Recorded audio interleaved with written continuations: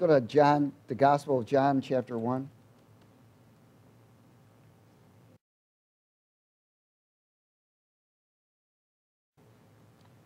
John chapter 1. Is everybody there? I'm getting there. I really am. I know John didn't leave yet. In verse 1, let's speak it together. Because what you speak is what you eat, and what you eat is what you become. Amen? So if I speak light, I eat light. That means I become more light. That means spirit begin to leave me. How many of you know a believer can still have a demon? They can be loaded. Hallelujah. In verse 1, let's speak it. In the beginning was the Word, and the Word was with God, and the Word was God. That's pretty amazing. So, God was not only the Word, but He was also in the beginning when He decided to create this realm. Amen create this universe, create this time. It says he was in the beginning with God, and all things were made through him, and without him nothing was made that was made. It was in him was life, and the life was the light of men. And the light shines in darkness. And darkness did not comprehend it. Darkness cannot comprehend until it partakes of light. So, one of the things the enemy tries to do is prevent you from partaking of light because he knows he can keep you in a state of deception. Verse 6 There was a man sent from God whose name was John. This man came for as a what? He was a witness. He was a what? A witness. To bear witness of the light that all through him might who? Believe or follow, because the word believe means to what? Follow. He was not the, the, he was not the true light, but he was sent to bear witness of the light so that people could see. That was the true light which gives light to every man coming into the world. He was in the world, and the world was made through him, and the world did not know him. The reason why the world did not comprehend or understand Jesus, who became flesh, was because they were living in another realm. They were living in another, what we call reality. There's two realities. And there is a reality that is temporary, and there's a reality that is eternal, there's a reality that is false, and there's a reality that is true. And there is a voice of reality. Does everybody understand this? We've talked about voices already before the voice of memory and so forth, there's the voice of deception. And look at, without us discerning the voice of what's influencing us, we'll easily go astray. Amen? And he says, he said, um, in verse 11, would you read it with me? He came to his own, the ones that he created, and his own did not receive him because they could not understand that reality. They could not comprehend the reality of Jesus because he was the voice of reality, the true reality. And they couldn't get it. He said, But as many as received him, to them he gave the right to become children of God. In other words, to become children of another reality. Remember, this whole operation is not religion. We are not in a religious state of being. This is not religious. Jesus was not religious. When John came, when Jesus came, they both were speaking, Behold, the kingdom of God. They were speaking about another reality. And he was trying to tell us that the fight is to access this new this reality that always was, always will be. But don't get caught up in this reality that you live in because God has granted access to the reality where you and I really belong and where we first came from.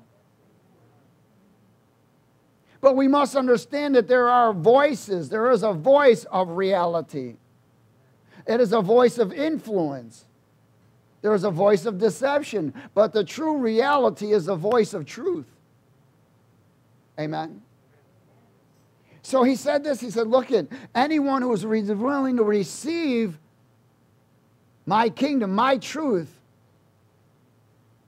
if anyone's willing to listen, to hear, and put into operation the voice of reality, the true voice of reality, you can access my kingdom.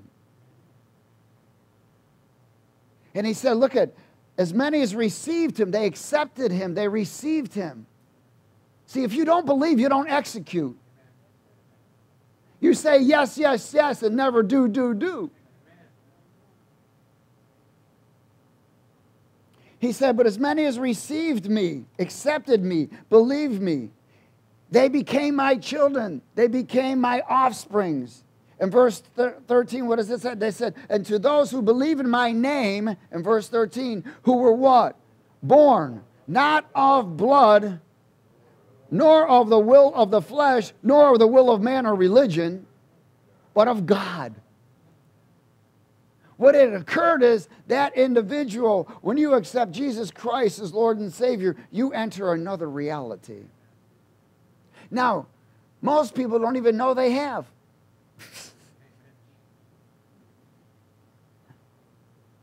because the assistant of the other reality that makes the other reality so real to you is called the Holy Spirit. Without the Holy Spirit, the reality is a myth. Does everybody understand? And see, one of the things is the, the voice of deception, the reality that you and I live in right now, even though Jesus walked in both realities. He expressed because he was the voice of true reality, but he came into this reality to make a way for me and you. It says here, he said, and the Word, the voice of reality, became flesh and dwelt among us, and we beheld his glory, the glory of the only begotten of the Father, full of grace and truth. So, that grace, of course, we've talked about before, isn't some kind of uh, unmerited favor, it's unmerited love. You earn God's favor. Amen? Salvation is a gift. Now, in salvation, there's a plan to maintain it. That's where he says you must work out your own salvation. So, in grace, grace is God's plan. He, is so, grace is backed by the voice of reality.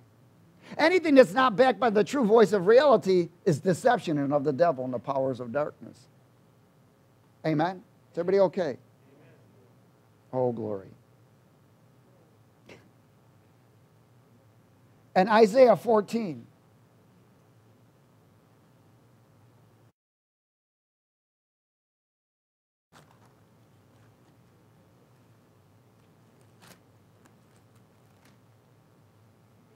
Glory, glory, and glory. Isaiah 14.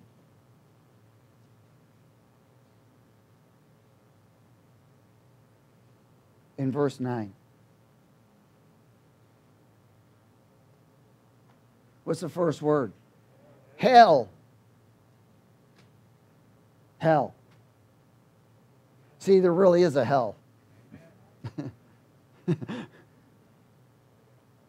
hell is separation from God forever. That is called the fire of wrath. Hell from beneath is excited about you.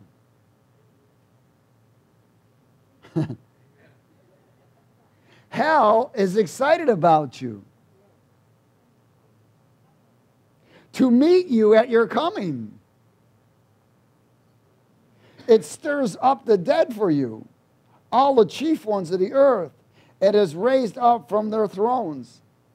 All the kings of the nations, they shall speak and say to you, Have you also become as weak as we?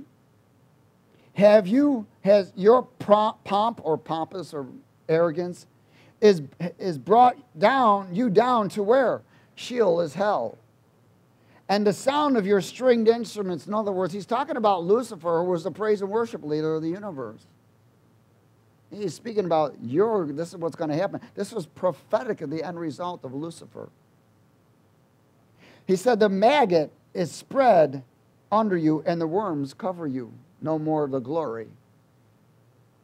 Verse 12, he confirms it. What does he say? Speak it. For you have fallen from heaven, O Lucifer, son of the morning.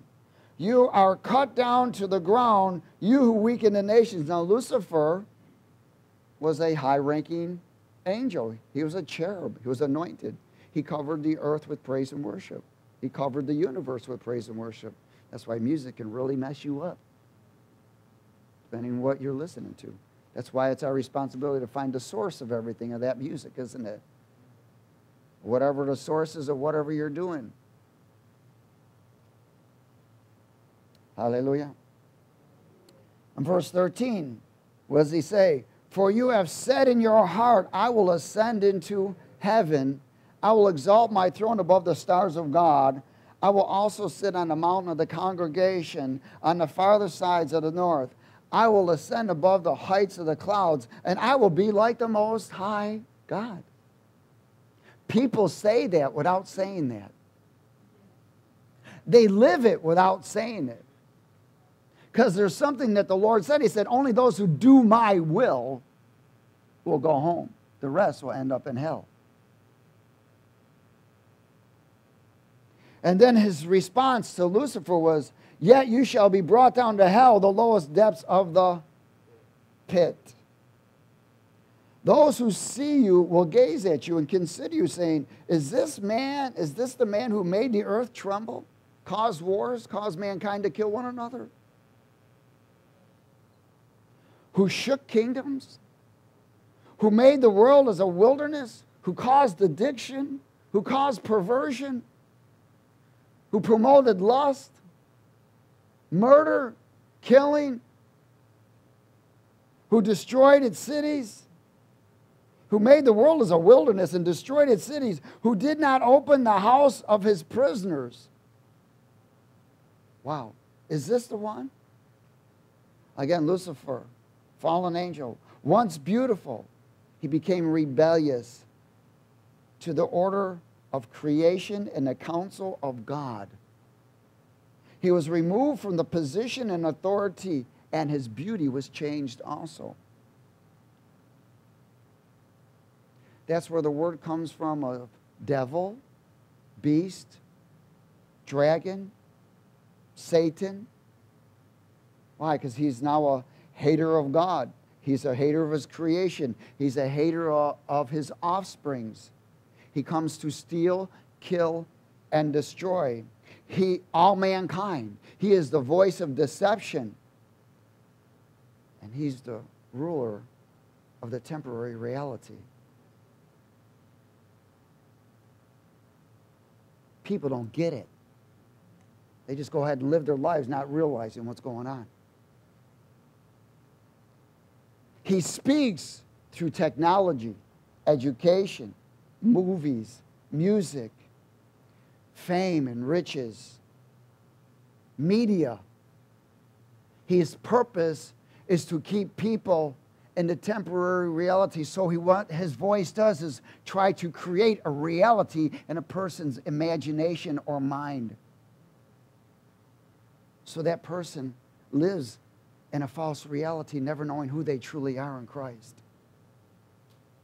Amen. Is everybody okay? It separates them from the reality of the eternal reality and their true identity. and Revelation chapter 12.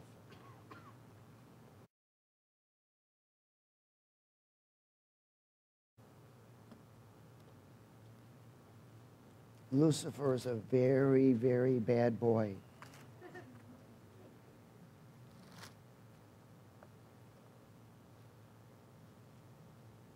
and he cannot be redeemed.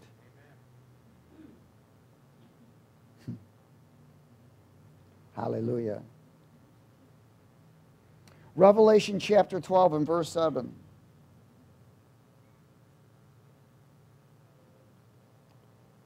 We are entering many things right now, and there are time sequences that God speaks about, and I'm not going to speak about them today, but Tuesday I am because we need to know where we are and what's getting ready to happen. You know, the Hebrew language, every part of Hebrew language is numbers. God is a man of numbers. Everything is translated to numbers. Everything is mathematically calculated. Those are hidden mysteries of God. And He has set up everything according to appointed times and seasons. And we're getting ready to enter a whole nother arena, a whole nother arena here shortly. And we must know where we are and what's going on. And we'll talk about that Tuesday. It's actually associated with Revelation chapter 12. That's music.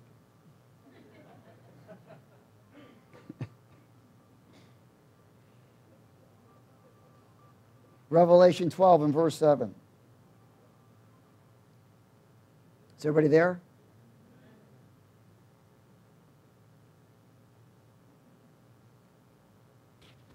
Glory to God. Can everybody hear me?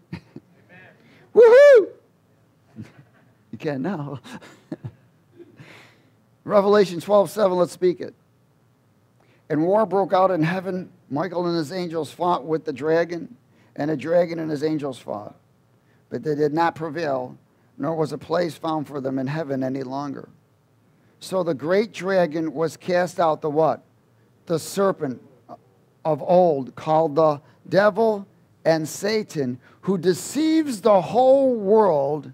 He was cast to the earth, and his angels were cast out with him. Hello.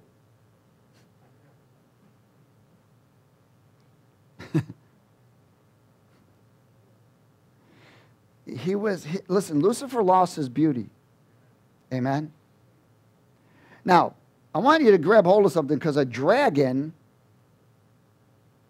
there are animals they call dragons and so forth. A dragon is a breathing fire reptilian. He is a breathing fire reptilian body. Is everybody with me? With wings. In other words, it can move, it can fly. That's why Lucifer is called a dragon, because it represents that his mouth is nothing but shame, lies. He speaks things. And he is a fallen angel. He is also a shapeshifter. He can transform himself. That's why the word says he comes as an angel of light. Again, this is not a religious thing. This is a reality because we are in a war. Most people don't even know we're in a war. And it's a war over eternity and what is real to you and me. So we see here that that's why he was known as the serpent in the garden. That's a reptilian. Amen? And a serpent speaks and is like a snake and is sly and cunning. A devil is a wicked being with a body. Everybody got it? That's what a devil is. People look at a devil as just a demon. A demon is a disembodied spirit. Even a devil can be a fallen angel. When they came into this realm, they became devils. Does everybody understand this? Now, when the word was translated multiple times, they used the same lingo and the same thing as devils, cast out devils, and so forth, and whatever. But if you really go to the book of Mark in 16, it says, and we will cast out demons. Amen. Because a demon is a disembodied spirit that needs a body. But Lucifer, fallen angels, are known as beasts, fallen angels now, principalities are angels, but there are clusters of them. They're fallen angels, or there's actual principalities of God's angels. But these are fallen angels, those that have left the kingdom of God and followed Lucifer. And Lucifer was one of the th- three main chief archangels. So he was in control of a third of the angels. So that third that was under his control, they followed him. Is everybody with me? Okay. So he says here in verse uh, something, verse 9. So the great dragon was cast out, the serpent of old called the devil and Satan, who deceives the whole world. He was cast to the earth, and its angels, and his angels were cast out with him. Now I want you to understand that he was cast to this reality. He was removed from an eternal reality into a temporary reality. That's why he is in the second heaven.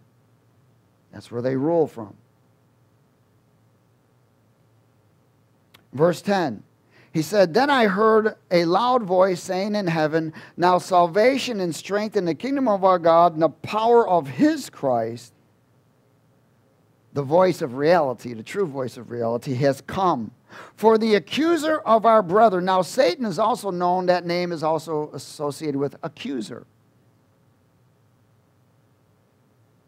For the accuser of our brethren who accused them before our God day and night has been cast down. It's been cast down where? Into this reality. And they overcome him. They overcame him by the blood of the Lamb. That's through repentance, by activating the blood of Christ.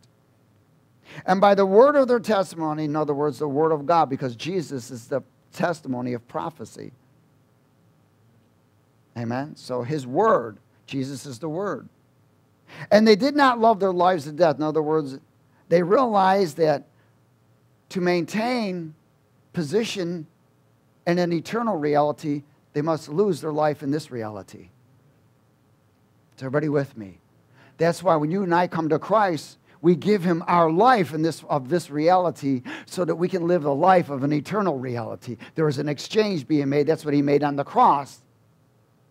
And again, here's what's very important you cannot serve two realities. You can't. The end result is the devil will take you over because the word says you cannot serve two masters. The end result is the devil will win. So you must get both feet into the true reality. Amen? Is everybody okay? Praise God. Now, we know that Satan is the ruler of this world. And it says something very important. It says, verse 12, uh, Therefore rejoice, O heavens, and you who dwell in them. But what? Woe. Woe. W O E, without eternity. Woe. to the inhabitants of the earth and the sea, for the devil, a fallen angel, wicked, has come down to you, having great wrath, because he knows that his, he has a what? A what? Short time. That's what we're going to talk about Tuesday. He knows he has a short time. So he's going to do everything he can. That's why you see all kinds of wickedness going on. That's why you see everything of what's happening. Where they're not holding back anymore. They don't even care if you know.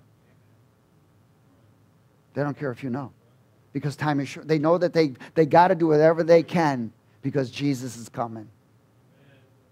So they got to do whatever they can before Jesus comes. So they're going to try and kill, steal, and destroy as much as possible. But you got to understand, they believe their own deception also.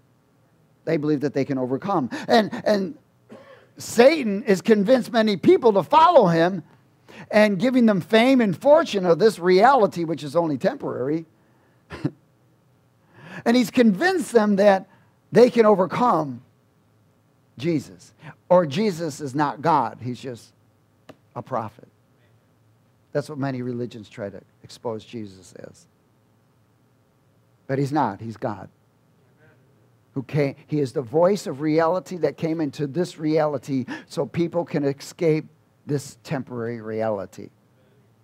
Amen. Is everybody okay? John chapter 8. And he, he, he keeps people in this reality, caught up by this reality by lying to them because he's the voice of deception. So he lies to them. And he lies to them in multiple ways. He's been lying to me and you. And believe me, that was the first thing that I realized when I had my visitation from the Lord 23 years ago. After he slam dunked me, filled me with the Holy Ghost, and brought me to the other side, and the serpent came out of my body, and I came to my senses for a minute. I went, Whoa, I've been lied to my whole life. I've been lied to. And it's not that my parents or the churches I was going to, believe it or not, meant to lie to me. But the voice of deception infiltrated. Look how the voice of deception infiltrated 12 step program. It started off with a visitation from the Lord Jesus Christ to the man that started it who got healed and delivered. And then the voice of deception stepped in and changed it. Now people worship light bulbs. Maybe they ought to stick their finger in the socket and get a real zapper. They may see Jesus. At least they'll know the truth. Hallelujah. Glory. John chapter 8. Does everybody get understand that? Now they go around the room and curse themselves. I mean, look at it's a good place to start. I started there. I was with a group of people that wanted to get free. But the voice of truth, the voice of reality came to me and said, You know what? Look around the room. How much more truth do you think you get out of here? I said, None. I don't even know why I was saying none. I didn't know anything, anyways. I just said none. And he said, Get out. And I did. And then the voice of reality, the voice of truth came. I went, Woe to the earth. Woe to them who don't know. Woe. John 8 42.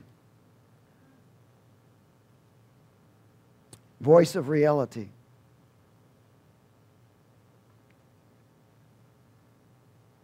Let's speak it, please. Jesus said to them, If God were your father, you would love me. For I proceeded forth and came from God, nor have I come of myself, but he sent me. Why do you not understand my speech? Why don't you understand my words? Why aren't you using what I'm telling you? Why don't you believe me?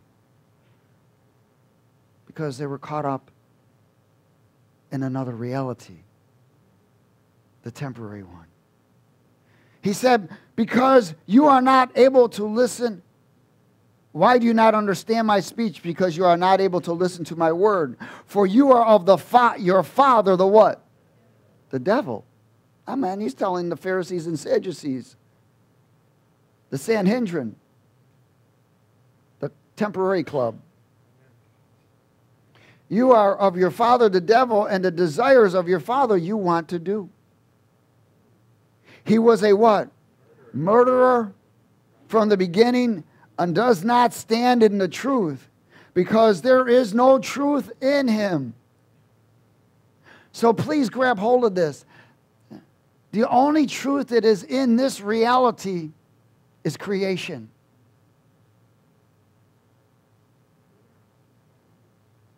Until Jesus came.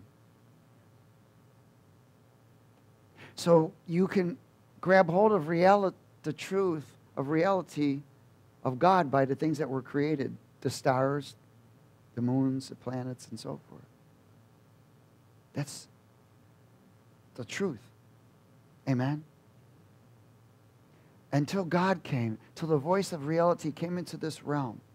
Now, before Jesus came, the voice of reality spoke through men, didn't he? Amen. Prophetically, speaking things and preparing. I mean, they're all preparing. He said, But you don't stand in, you are a murderer. He, the devil is a murderer from the beginning. He does not stand in the truth because there's no truth in him. There's no love in him either. When he speaks a lie, he speaks from his own resources, for he is a liar and the father of it. Wow. But because I tell the truth, you do not believe me or follow me. You don't accept it. You don't believe it, you don't receive it, and you don't execute it. You don't use it. Which of you convicts me of sin? And if I tell the truth, why do you not follow me? He who is of God hears God's words. That is a position. I mean, in true reality, we all came from God, didn't we? Amen. He created us all. We all came from the eternal realm into a temporary realm. But he's saying, in this reality, only those who hear me are mine. Because this ain't about religion. Amen. This is about reality. He who is of God hears my words. Therefore, you don't hear my words because you're not of me. That's where he says, Abide in me. Amen? Abide in me. So, you and I were born originally from the true reality. That's where we came from. And then we were born in a temporary reality. The problem is, is all memory was removed. We don't even remember where we came from. That's why we walk this earth going, Who am I? Why am I here? And where am I going? But God says, I knew you before you were. You were in me before you were. Born, now we're, now we're born in this reality, amen, where there's the voice of deception. The only true voice of reality is what's created around us. And we've got to be careful of what is influencing us so we're not associated with selfishness. Amen. Or self righteousness. Selfishness or self righteousness or selfish ambitions, because that's what keeps a person still entangled in this reality. They haven't given up their life yet. I mean, you think about it. How many decisions are we always making without asking the Lord? You know, even greed is, is a part of this reality, isn't it? Anything to keep a person more entangled in this reality. That's why the Lord says a soldier mind cannot be entangled in the affairs of this world. That's entangled, in, in other words, having deep rooted in this reality. You and I have been pulled from this reality. We've been freed from this reality. But let me tell you, God will test you in multiple ways. He tests us to see where we're at. He tests us in our works. He tests us, he, he, he challenges us in certain areas to see where we're at, whether we're obedient. Amen. He, you know, one of the things the word says is in the latter days, um, uh, perilous times will come. Men will be lovers of themselves, and the second thing is lovers of money. Lovers of self, lovers of money. Do you know people still out there that don't tithe? They don't believe in tithing. I'm not here to teach on tithing today. But it's amazing how many people will give $8.25. Like they count it to the penny of their 10%.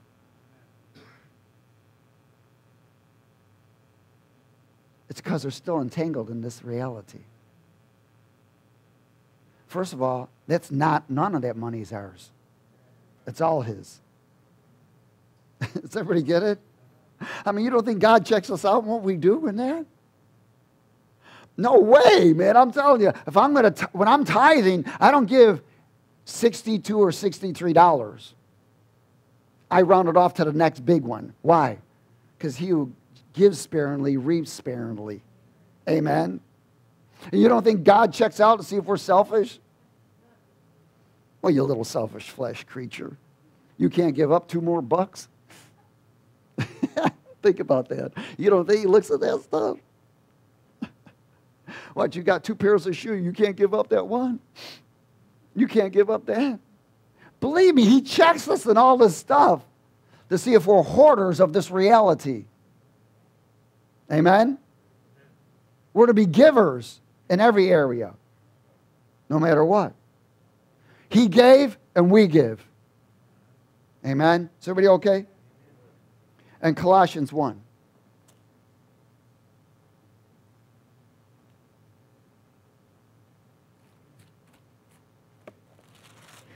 Believe me, when, we when we give money, God always tells you, round it off. round it off. And you may, you may think, okay, I'll round it off to the next five bucks. He's saying, no, round it off. he may tell you, round it off to the next 50, 20, 30, or 100. But don't get accustomed to just giving what you think. Give what he tells you to. Why? Because he's checking me and you. And no matter whether it's finances or time, whatever it may be. Doesn't have to just be finances. He always wants to know if you and I are willing to go the extra mile. Give more of our. Why? Because the more you give of yourself, the more you get more of Him. Hey, you sow righteousness, you reap righteousness. You sow respect, you reap respect. You sow dishonor, you reap dishonor. What you sow is what you reap. Nobody outruns that law. Whether you believe it or not, you don't outrun it. You can talk to all the guys in my class in jail. What you reap is what you sow. I mean, what you sow is what you reap, and vice versa. Colossians 1, verse 9.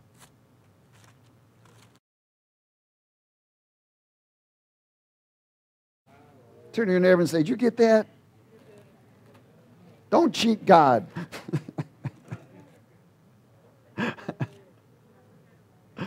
Don't cheat daddy. Now, does God love us unconditionally? Yes, He does. He loves us unconditionally.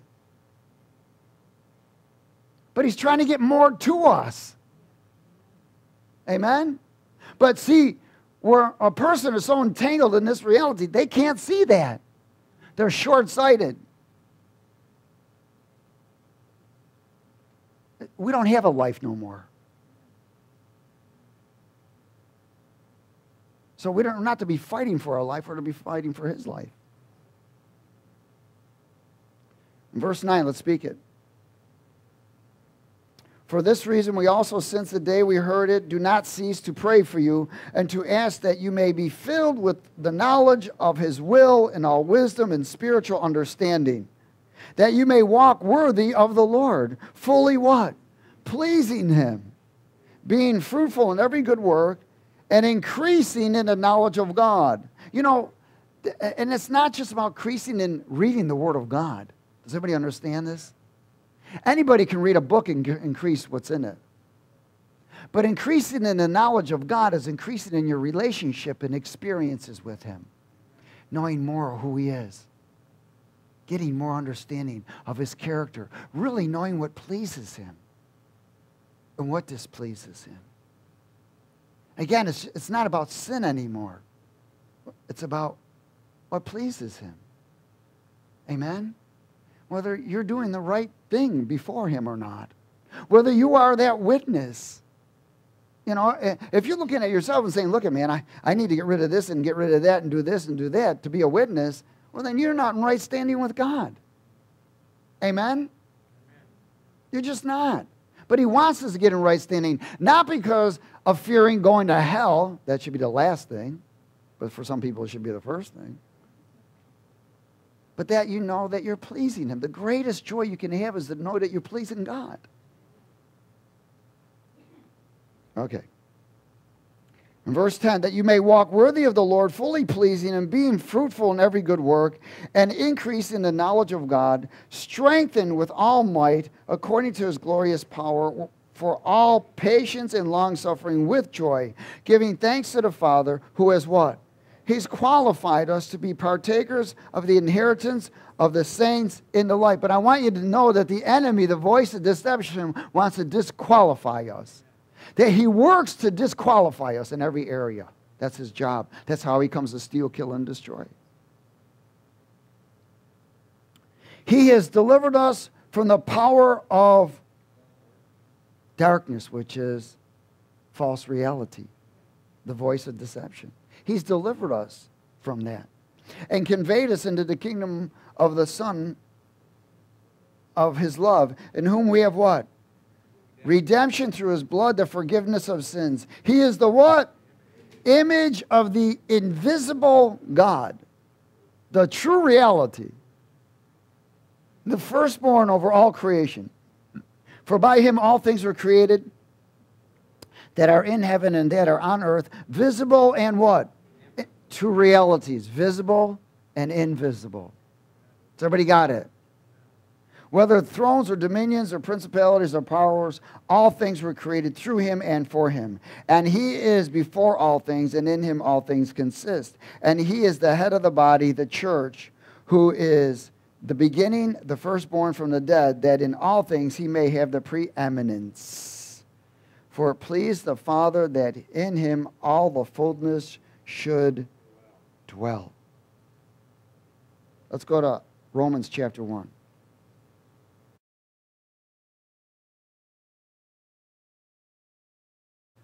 So, in Romans chapter 1, in verse 18,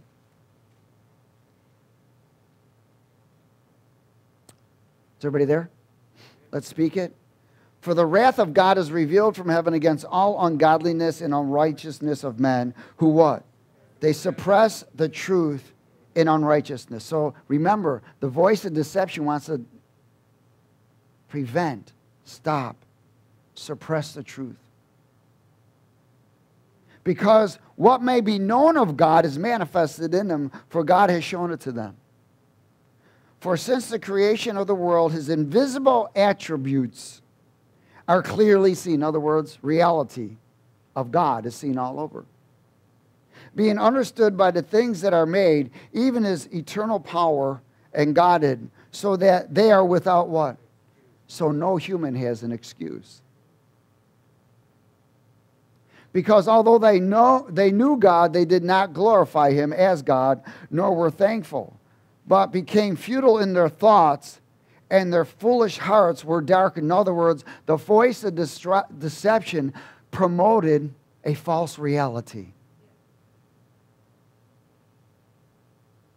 Did, did you ever, uh, you know, you could have read something or thought something or you discussing with something, and, you know, because uh, every voice releases an image, amen?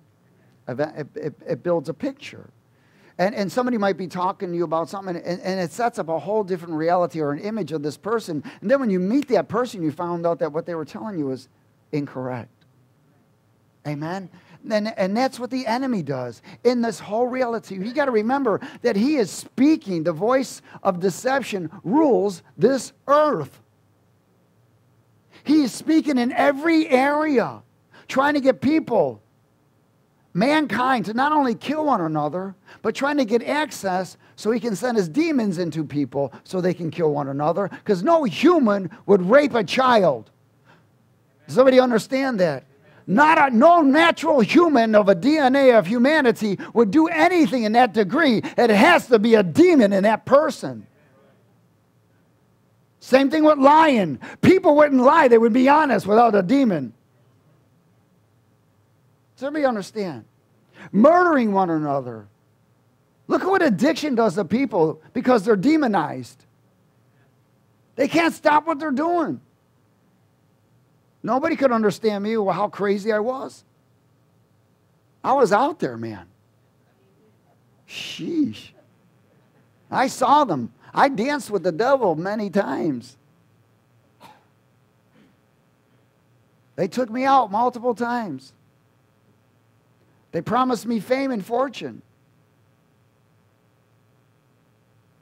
Almost retired. Got sentenced to life. It was the wrong wrong retirement.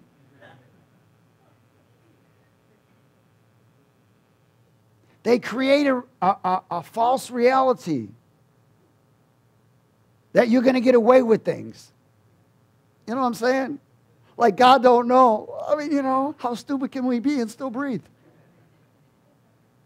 God don't know what you're doing. Disconnect. So I want you to grab hold of the voice of deception promotes a false reality to bring disconnect with you and God, you and your Father. And then he replaces that disconnect with a false connect with religion. Oh, I know the word, I'm a good person. I'm a good person. Good people don't go to heaven. Only that's produce righteousness. Amen. Is everybody okay? Hallelujah. Romans, uh, did we finish this yet? Praise God. I don't think so. Verse uh, 22.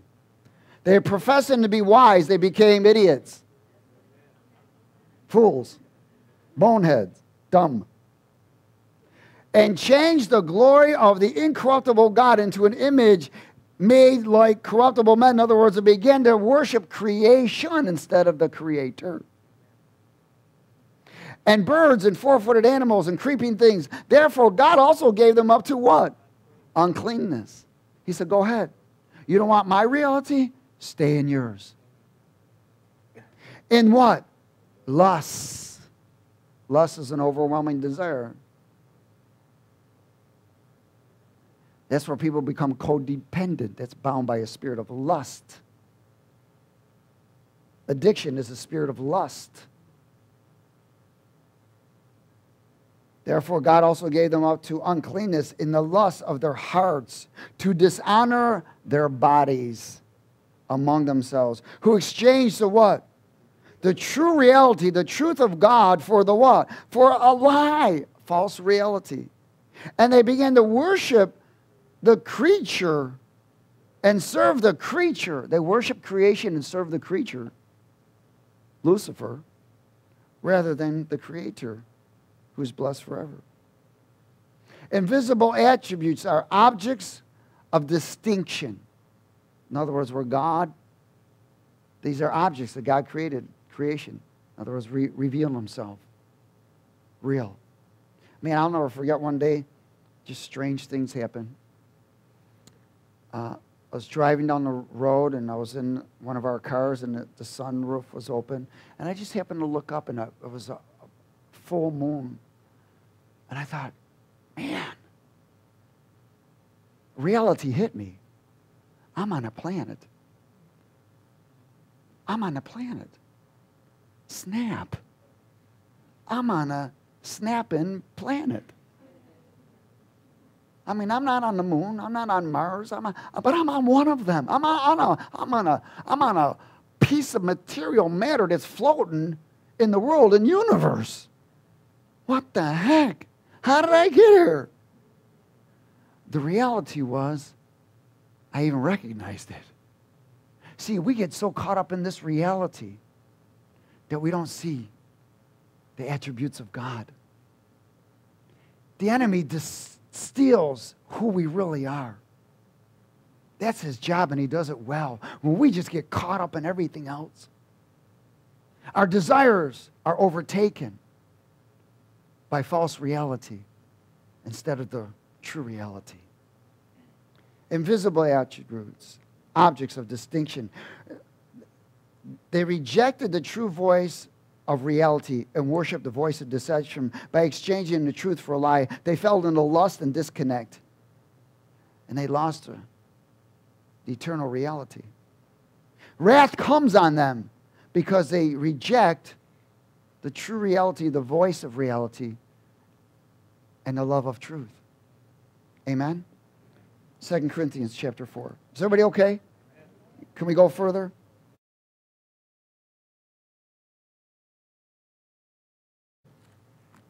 I got one that wants to go further. Thank you. Hallelujah. Hallelujah. Listen, what, what is reality? It's making it real, isn't it? Making it real. We want, we want to make things real. 2 Corinthians 4, verse 16. Let's speak it. Therefore, therefore what? Do not lose heart.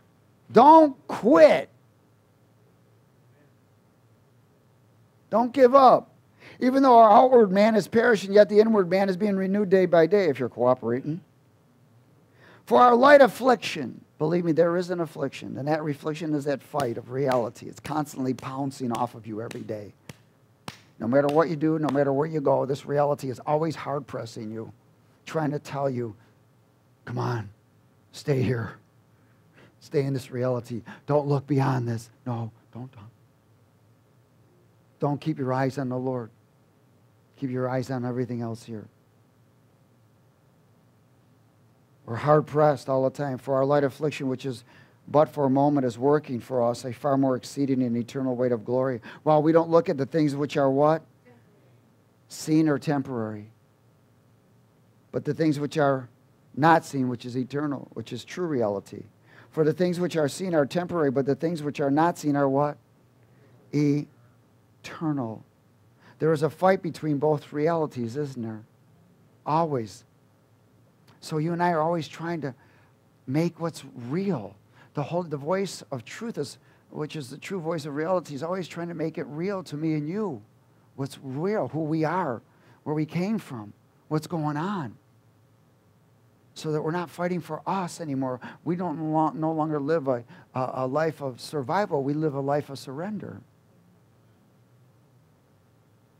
In 1 John chapter 3, voice of reality.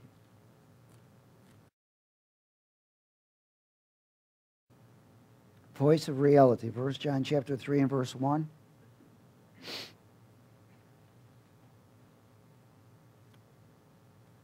Behold, what manner of the love that the Father has bestowed on us that we should be called children of God. Therefore, the world does not know us because it did not know him. Beloved, now we are children of God. In other words, we are children of an eternal reality, of another reality. And it has not been revealed to us what we shall be. Hallelujah. But we know that when He is revealed, when the voice of reality is revealed again, what? We shall be like Him. And we shall see Him as He is. And everyone who has this hope in him purifies himself just as he is pure. Whoever commits sin, whoever associates with the voice of the stranger, deception, also commits lawlessness. And sin is lawlessness. It's called the presence of evil. And you know that he was manifested. Jesus was manifested. The voice of reality, the voice of truth was manifested to take away our sins, and in him there is no sin. Whoever abides in him does not sin, and whoever sins has neither seen him nor known him. Little children, let no one deceive you. He who practices righteousness is righteous, just as he is righteous. He who sins is of the devil. In other words, that influence. For the devil has sinned from the beginning. For this purpose, the voice of reality was manifested the Son of God, that he might destroy the voice of deception. Does everybody get it? The devil. Whoever has been born of God does not allow sin to have dominion over him, and his seed remains In this, the children of God and the children of the devil are manifest. They're exposed. Whoever does not practice righteousness is not of God, is not of the eternal order, nor is he who does not love his brother. See, that reality is an eternal order of God Almighty. It is a whole kingdom in itself. And you and I have access to that kingdom all the time access. Even though we are in this reality, we realize that it's temporary. But we have access to the true reality. Does everybody understand? They are both, they are both tangible, you know. Even though it's unseen, but it's still tangible. Amen? Everybody do this. Move your hand. Come on, make some wind. You feel it? Amen? Something's there. Now stop. Do you feel it? No. Is it still there? Yeah. It's two realities. Amen. Glory. Why? Acts 17.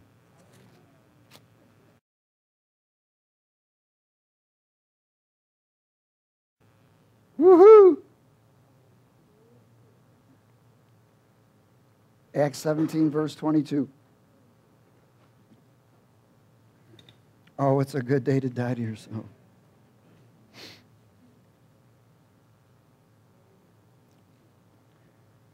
Then Paul stood in the midst of uh, Areopagus and said, Men of Athens, I perceive in all things that you are very religious. Because you keep worshiping the ob, objects of this reality. For I was passing through the, and considering the objects of your worship, I even found an altar with this inscription to the unknown God. Therefore, the one whom you worship without knowing him is the one I want to proclaim to you because he's of another reality. God, who made the world and everything in it, since he is Lord of heaven and earth, does not dwell in temples made with hands, nor is he worshipped with men's hands as though he needed anything, since he gives all life, breath, and all things. And he has made from one blood every nation of men to dwell on the face of the earth, and has determined their pre appointed times and boundaries of their dwellings so that they should seek the Lord in hope that they might grope for him and find him, though he's not far from each one of us. For in him we what? We live, we move, and have our being. As also some of your poets have said, we are also his offsprings. Therefore, since we are the offspring of God, we ought not to think that the divine nature is like gold or silver or stone, something shaped by art or man's devising. Truly, these times of stupidity and arrogance and ignorance God overlooked, but now commands all men everywhere to what? Repent, turn away from it. Because he has appointed a time, a day, on which he will judge the world in righteousness by the man whom he has ordained. He has given assurance of this to all by raising him from the dead. In other words, we move, we breathe, and have our being in him or an existence in God with two realities. So both realities are actually in God. Amen? All right. Now, one is temporary, one is eternal. In this, it says we move. That's motion. You know, when God spoke, he's still speaking. In other words, what he spoke did not stop. That's what maintains creation, because things are constantly moving. You know, I think it said that the earth moves at what, 17,000 miles an hour or something, but we don't realize it. We don't realize how fast the earth is spinning and moving. Do you know we're also moving through the universe? And we're moving. Everything's a movement. So even when you and I speak, it's moving. That's why when God spoke, it's moving. And everything that you and I, so when we speak light, it's moving. It's moving on our behalf. When God spoke, everything's maintained by what God spoke. It's still moving. Amen? So motion is movement in the temporary, isn't it? Motion is movement in the temporary. In fact, when you think about it, in the temporary, emotion, emotion is which is the feelings that are being moved. That's why we get emotion. Amen? Because it's a feeling that gets moved. It's a moving feeling. It moves a person. Um, anger can move a person to do something stupid. Amen? Lust can move a person to do something stupid. But there are things that can move a person. So that's why we look for peace, joy, and righteousness of God, which is the emotion of God's love. Amen? Anything that's not that is not God's love. Is everybody okay? So you and I are influenced by the voices of either of God or of the enemy of deception, the voice of reality or the voice of deception. By the unseen realm. And what is it trying to do? It's cause us to make a decision. It's causing us to try to agree with so a decision is made that will either keep us more entangled in the temporary reality or free us to walk in the eternal reality. Amen? Second Thessalonians 2.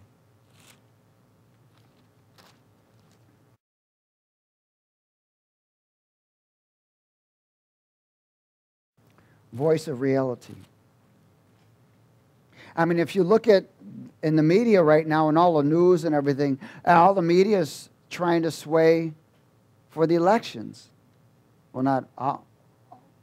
I think there's maybe one or two media that's not trying to sway.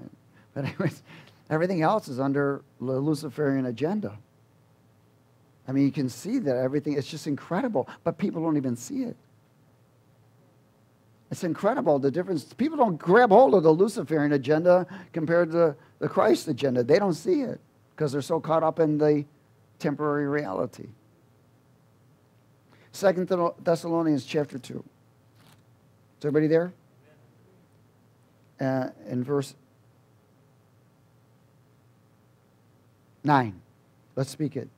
The coming of the lawless one is according to the working of Satan with all power, signs, and lying wonders, and with all unrighteous deception among those who perish, because they did not receive the love of the truth that they might be saved. In other words, they did not love the truth. They didn't love the truth. So listen, if you don't love the truth, then you love deception. And that's what's going to keep you in the temporary reality and entangle us. Amen. For this reason, God will send them strong delusion that they should believe the what? The lie. That they all may be condemned who do not believe the truth, but had pleasure in unrighteousness. Wow. Because the voice of deception will always promote unrighteousness. They did not love the truth, they did not love the voice of reality. Hebrews chapter 11.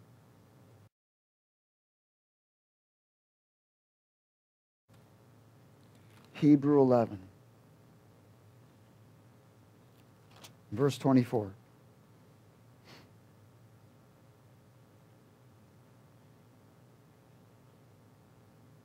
Hebrews 11, verse 24.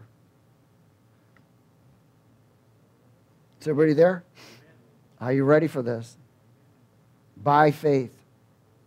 Faith. Everyone say faith, faith. is spiritual sight. Think about that. Faith is spiritual sight. Why?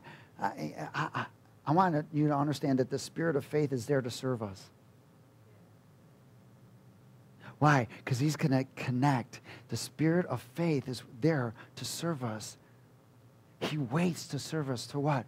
To connect us. To connect us into the arena so that we could see the true reality, associate with the voice of reality. So when you, faith is not still, it's movement. So when you, when you hear and you receive and believe, it brings vision. It's spiritual sight. So your faith is always opening to the true reality, the eternal reality. You're always seeing through the temporary reality. You know, faith is trusting in God even when you don't understand. Amen. You trust Him even though you don't understand it all yet. In other words, you may not understand it yet, but you know it's coming. So you're going to trust Him. That's faith. Why? Because you're looking to the unseen realm, the true reality associated with the voice of reality. Has everybody got that? Okay, let's, let's, do, let's speak this together. And verse 24 By faith, Moses, when he became of age, refused to be called the son of Pharaoh's daughter, choosing rather to suffer affliction with the people of God than to enjoy the passing pleasure of sin. Why? Because he had a reality of what reality was. Amen? Of the unseen. He believed in an everlasting. Look at this. 26. Esteeming the reproach of Christ greater riches than the treasure in Egypt. So I want to, he choosing rather to suffer affliction with the people of God than to enjoy the pl- passing pleasures of sin, esteeming the reproach of Christ greater riches than the treasures in Egypt. For he looked to the reward. Why? That's called faith. He had spiritual sight. He looked to the reward. He knew that he would be rewarded by standing firm on what truth is and loving truth. By faith, he what? Forsook Egypt, which means bondage, not fearing the wrath of the king, for he endured as seeing him who is invisible. He endured by making God a reality to him. He saw him. David said, I always put the Lord before me because he saw him. Does everybody understand that? That's called faith. Making what, unseen, what is unseen to become seen. It's faith. By faith, he kept the Passover and sprinkling of blood, lest he who destroyed the firstborn should touch him. Now, this is powerful. Faith, spiritual sight, seeing the true reality, directed by the voice of reality. Faith serves me and you by connecting to the true reality, trusting God when not everything makes sense. When look at what doesn't make sense makes faith. Amen. Amen. In John chapter 6.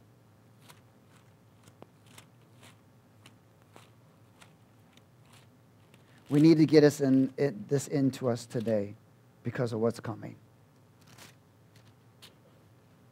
Glory. John 6 53. John 6, or yeah, John 6 53. Is everybody okay? Are you getting this? I hope so.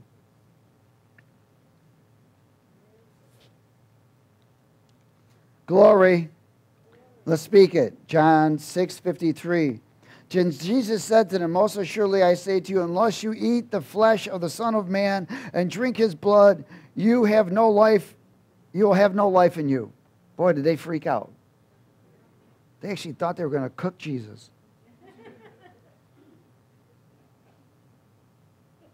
Whoever eats my flesh and drinks my blood has eternal life, and I'll raise him up the last day just to bring confirmation to. Here it is. My flesh is food indeed, and my blood is drink indeed. In other words, his flesh was known as the Word, and his blood was known as the Spirit. He who eats my flesh and drinks my blood abides in me, and I in him. That's why when we do communion, it's remembrance of what he paid. As the living Father sent me, and I live, because the Father who uh, so he who feeds on me will live because of me. This is the bread which came down from heaven, not as your fathers ate the manna and are dead. He who eats this bread will live for what? Forever. These things he said to them in the synagogue and he taught in the Capernaum. Therefore, many of his disciples, when they heard this, said, This is nuts. This is a hard thing. Who can understand this stuff? See, they did not have faith because just they, they, even though they didn't understand, amen, they departed instead of enduring. They didn't trust him. Watch this. He said, Therefore, many of his disciples, when they heard this, said, This is hard saying. Who can understand? When Jesus knew in himself that his disciples complained about it, this, he said to them, Does this offend you? What then if you should see the Son of Man ascend when he was before? It is the Spirit who gives life. The flesh profits nothing. The words that I speak to you are spirit, they are life. But there are some of you who do not believe. For Jesus knew from the beginning who they were who did not believe and who would betray him. And he said, Therefore, I have said to you that no one can come to me unless it has been granted to him by my Father. From that time, many of his disciples went back and walked with him no more because they had no faith, because they wanted to understand everything. But they, look at, you and I must trust. Understand, uh, your relationship with God is not always an understanding relationship, it's a trust relationship. Understanding will come, though. Amen? Will come. We've got to what? Trust. That's, that's faith. Therefore, hallelujah. Then Jesus said to the twelve, Do you also want to go away? But Simon Peter answered him in verse 68, Lord, to whom shall we go? You have the words of eternal life. He recognized another reality. Also, we have come to believe and know that you are the Christ, the voice of eternity, the voice of reality, the voice of truth, the Son of the living God. And Jesus answered them, Did I not choose you, the twelve? And one of you is a what? Devil. Hmm. Of course, he spoke of Judas Iscariot. That word Iscariot is also in Latin translation meaning murderer. The son of Simon, for it was he who will betray him, being one of the twelve. See, this is where the, when there's no faith, people quit. They stop. You and I must grow and realities of faith. Amen. making it real, making the other side real to you in everything that we do. Is everybody okay? John chapter 1, verse 23.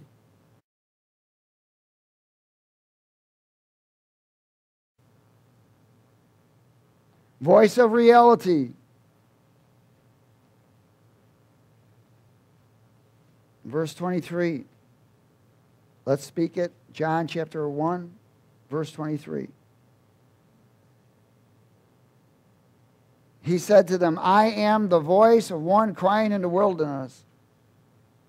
Make straight the way of the Lord, as the prophet Isaiah said. Now, those who were sent were from, from the Pharisees and they asked him, saying, Why then do you baptize if you are not the Christ or Elijah or the prophet?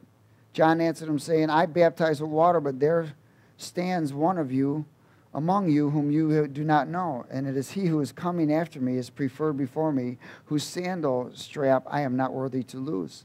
These things were done in Bethabara, beyond the Jordan, where John was baptized. And the next day, John saw Jesus coming toward him and said, Behold, the Lamb of God who takes away the sins of the world. This is he whom I said afterward, after me, who comes a man who is preferred before me, for he was before me. I do not know him, but that he should be revealed to Israel. Therefore, I came baptizing with water. And John was born witness saying, I saw the Spirit descending from heaven like a dove, and he remained upon him. I did not know him, but he who sent me to baptize with water said to me, Upon whom you see the Spirit descending and remaining on him, this is he who baptizes with the what? Holy Spirit, which would bring reality of the unseen. And I have seen and testified that this is the Son of God. Again, the next day, John stood with two of his disciples looking at Jesus. As he walked, he said, Behold, the Lamb of God. And the two disciples heard him speak, and they what? They followed him. In John 14, you and I are witness of the voice of reality. Amen? We are the voice in the wilderness, which is, this is called the wilderness, this reality. It's the wilderness, it's a temporary reality. Making a way for the voice of true reality to come and manifest because he's coming soon. Ain't no doubt about it. John 14, is everybody there? Verse 1. Let's speak it together, please. Let not your heart be troubled. You believe in God, believe also in me. In my Father's house are many mansions. What were in here? This realm? No, in the other one. If it were not so, I would have told you. But I go to prepare a place for you. And if I go and prepare a place for you, I will come again and receive you to myself. And where I am, there you will be also. And where I go, you know, and the way you know. And Thomas, of course, said to him, Lord, we don't know where you're going. And how do we know the way? And Jesus said, I am the way, the truth, and the life. No one comes to the Father except for through me.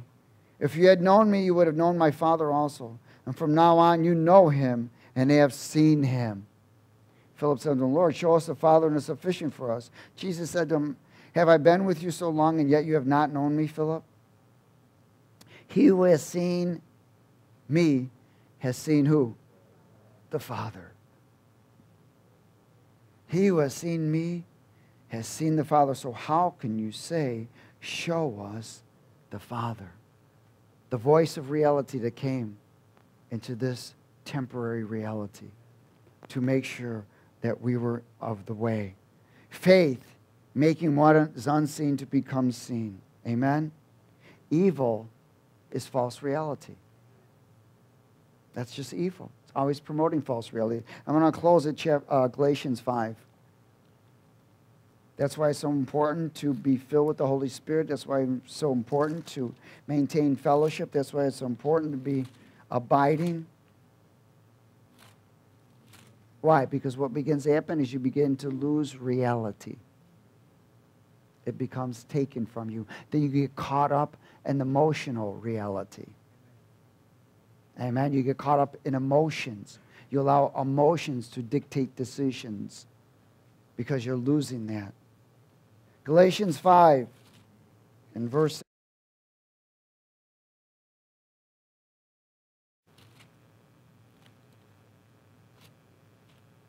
Galatians 5, verse 16. Is everybody there? Hallelujah. I say then what? Walk in the Spirit and you won't fulfill the lust of this reality.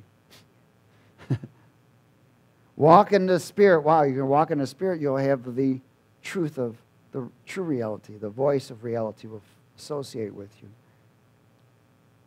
For the flesh lusts against the spirit, and the spirit against the flesh, and these are contrary to one another, so you don't do the things that you desire or wish. But if you are led by the Spirit, you're not under the law of death and hell and sin. Now, the works of the flesh are what? Evident, which are what? This is the works of the temporary reality by the influence of the voice of deception. Wanting to keep us, look at when you begin to cooperate with the voice of deception, you begin to root into the temporary reality. You build root, you begin to build your house here you begin to look more of building all kinds of things in this realm than building the things in the other realm. Amen. And unless you allow the Lord to build a house, we what? Labor in what? Vain. We have no, we have no idea how many things we've done in vain. Thinking we've done, we call it doing for God, but God never told us to do it. That's called vain. Now, the works of the flesh, the works of this reality are evident, which are what?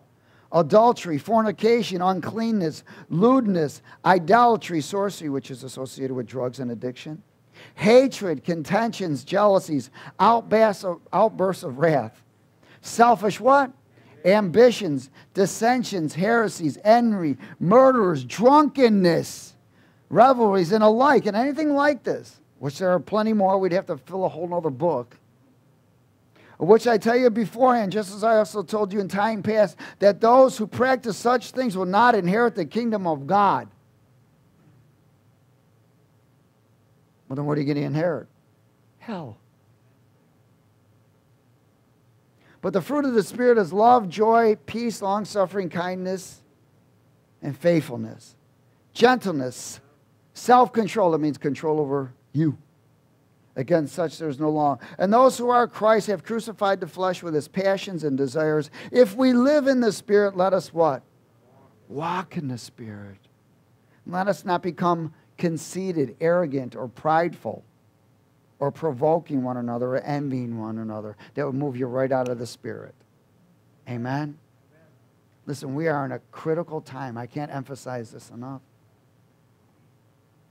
Maintain the association with the voice of reality, the voice of truth. Don't get so caught up in this realm and don't get rooted into this false reality that is temporary. You want to stay rooted. That's where the word says, where your treasures are laid up is where your heart's at. Amen. Maintain that relationship. Stay connected. Abide. Father, we thank you for your word. We are honored and blessed. We want to be sons and daughters that are well pleasing to you, Lord. Cut us loose from this reality. One day we'll be out of here. Thank you.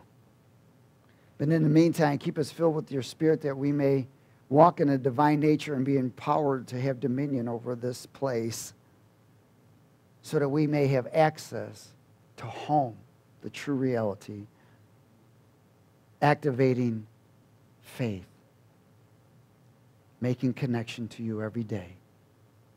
In Jesus' name. And everybody said, Amen.